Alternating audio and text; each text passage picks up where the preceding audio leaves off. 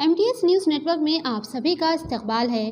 तेलंगाना में 17 लोकसभा सीटों के लिए पोलिंग जारी है। अब तक कई अहम शख्सियत ने अपने वोट के हक से इस्तेफायदा कर चुके हैं, जिनमें काबिल ज़िक्र सदर कुल हिंद मजलिस एतिहादुलमुस्लिमीन व रुकन parliament Hyderabad barrister Asaduddin Owaisi, chief minister Revanth Reddy, सदर बी के चंद्रशेखर राव के अलावा मुख्तलिफ़ सियासी जमातों के उम्मीदवार कायदीन वज्राय सबक वज्राय और फिल्मी शख्सियत व दीगर शामिल है।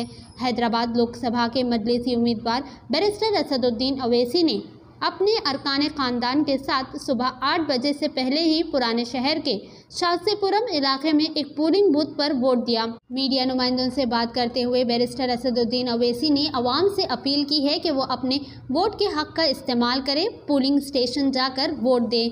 आइए देखते हैं इस खसूस में चंद तफसील। हमारी ये खास रिपोर्ट में ऐसे ही अहम और ख़ास खबरों के लिए एम न्यूज़ नेटवर्क को लाइक करें सब्सक्राइब करें और शेयर करना ना भूलें। नहीं करें और आरपीएफ में तो करेंगे। So what's your take on the India Bloc alliance? I I am not part of it so I cannot comment on it लेकिन आप लेकिन आप समर्थन कर रहे हैं उनके लिए इशारा किया है आपने। पचहत्तर साल की उम्र अच्छा जी, में आपने- प्रधानमंत्री नरेंद्र मोदी को रिटायर किया जाएगा उनकी जगह पर अमित शाह प्रधानमंत्री बनेंगे आम आदमी पार्टी का आरोप है। इसके ऊपर आप कुछ रिएक्ट करना चाहिए नहीं मालूम मैं कैसा रिएक्ट करूँगा उस पर वो तो एक पार्टी का है बट जब उनकी पार्टी ने खुद ये कहा था कि मार्गदर्शक मंडल में चले जाएँगे अब नहीं मालूम नरेंद्र मोदी जीतेंगे या नहीं जीतेंगे। जीतेंगे या नहीं जीतने पर भी वो मार्गदर्शक मंडल में जाएँगे नहीं जाएँगे नहीं मालूम।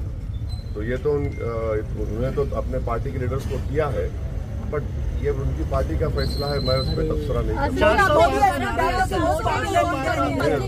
कि पतले को वोट करो क्या इशारा है? क्या ये सीक्रेट आपके साथ जो कांग्रेस के साथ साझेदारी हो रही है क्या हो रहा है? आपने आखिरी दिन नहीं आप लोग आप देखिए ये कोई क्या बोलना चाहिए कि इस तरह का रिमार्क नहीं है।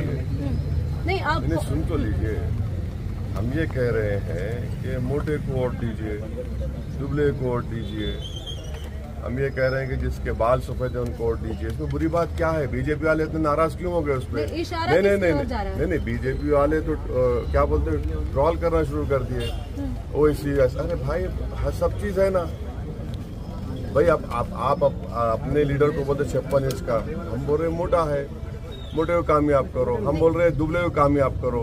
जिसके बाल सफ़ेद है उनको कामयाब करो। तो इसमें बुरी बात चार सौ पार का नारा अभी भी आपको लगता है सर पॉसिबल है चार सौ पार? देखिए 400 पार का जो नारा मोदी ने दिया भारत के दलित और जो संविधान से मोहब्बत करते हुए समझ गए कि ये 400 पार का मतलब ये है कि बाबा साहब अंबेडकर का संविधान गया आरक्षण गया या बेसिक स्ट्रक्चर चला जाएगा।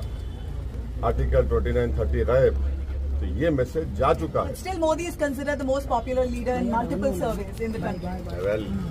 Sir Telangana में चुनाव खत्म हो गए हैं आप अलग अलग राज्यों में खत्म चुनाव कहाँ हुए अरे तेलंगाना में कहाँ खत्म हुए? भाई क्या बोल रहे? छह बजे तक वोट डालना है आप लोगों को। चुनाव प्रचार- बजे तक। चुनाव प्रचार के लिए six six six six six. Six P M तो छह बजे तक जाइए भाई वोट डालिए ऐसा कैसा होगा?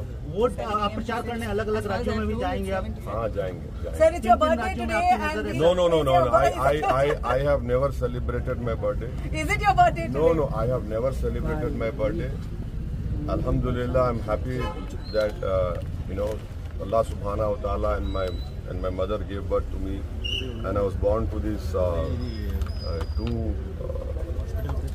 know, my parents, my late father, my mother. You know, I'm extremely grateful to them. Whatever I am in this world is because of their blessings, because of their. There's a poster that says gift a vote to OEC on his No, no, birthday no, today. not at all, not at all, not at all. You have to vote not for an individual. See, the, the whole understanding of you and the message of anyone going out to vote is forget about individuals.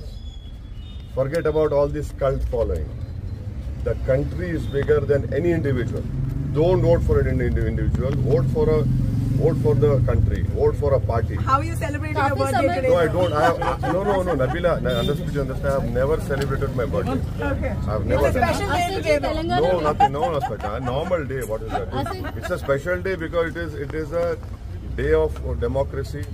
It is a day of people to come out and uh, show their like and dislike in the form of voting. That in that way, it is very special. Asad ji आज तेलंगाना के चुनाव के दिन कितना अहम हो जाता है जब हम देखते हैं कि दो बड़ी पार्टियाँ देश की उनके बीच में टक्कर दिख रही है। रीजनल पार्टीज़ बीआरएस कहीं ना कहीं पीछे हो गया है।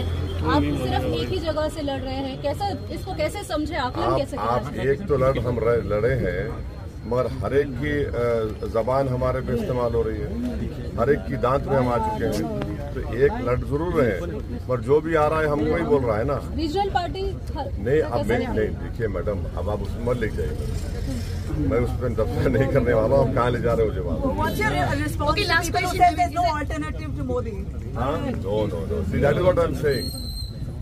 This country had given opportunity to Pandit Nehru after Nehru who country then you had Lal Bahadur Shastri then you had Indira Gandhi Country said who? The country progressed.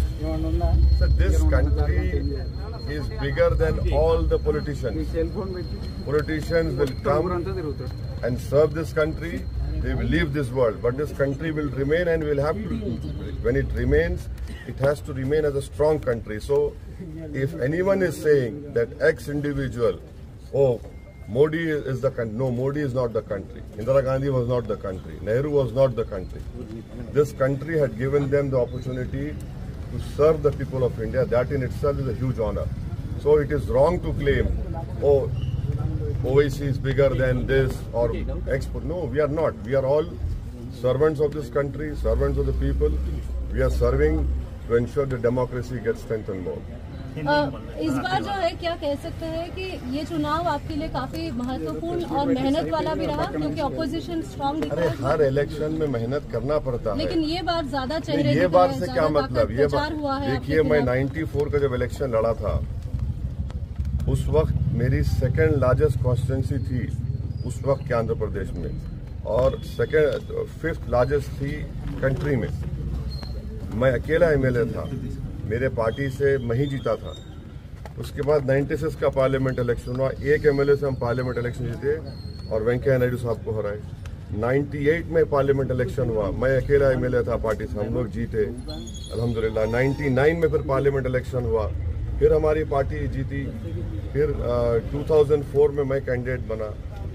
2009 में बना। तो हर इलेक्शन इलेक्शन होता है। कोई election आसान नहीं होता है।